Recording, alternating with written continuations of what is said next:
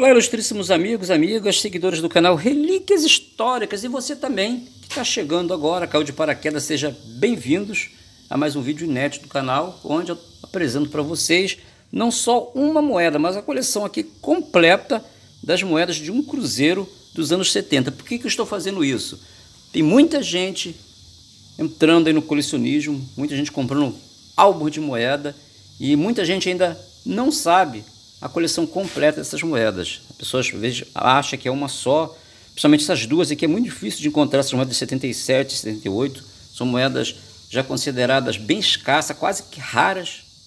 Eu vou estar mostrando a quantidade de tiragem de cada uma. E possíveis valores também. Tem algumas moedas com avaria, com algum tipo de defeito, moedas provas que valem muito. E aqui tem uma moeda no meio aqui, todas são normais. Essa aqui é uma moeda comemorativa, é de 1972, do Sesc Centenário da Independência, vendo? 1822 1972. Temos aqui a efígie do Dom Pedro I e do Emílio Garrastazu Médici, que é presidente do Brasil na época, tá? Então, moeda de 1970, 72, 74, 75, 76, 77, 78. Foi assim que elas foram cunhadas, algumas com anos alternados. Aqui eu vou mostrar para vocês essas moedas, tá? Aqui eu botei em azul, catálogo Vieira, né? Os valores de MBC, soberba e flor de cunho. Em azul eu botei a quantidade de tiragem, a de 1970, para quem não, se dá para enxergar, 53 milhões 271 mil e 200. A de 74, 24 milhões 135 mil 256. A de 75, tá? 21 milhões 613 mil peças. A de 76, 26 milhões 146 mil. Já a de 77, né, sai da casa dos milhões, 98 mil peças. E a de 78, apenas 77 mil peças. Essas moedas de 1970, tá? Ah, as primeiras que circularam em 1970, antes dela teve as moedas de 1967, que não circularam, foram moedas provas, com inscrição no anverso e no reverso, que é assim, ó, inscrição prova. Elas valem em média 700 reais, 900 reais essas moedas de um cruzeiro, de 1967. As de 1970 até separado aqui, saíram moedas, o reverso, né? horizontal e reverso invertido. Tem moedas aqui valendo flor de cunho 270 reais, reverso horizontal, e flor de cunho chega a valer 350 reais. Invertido 50 MBC, 150 soberba, 350 uma flor de cunho.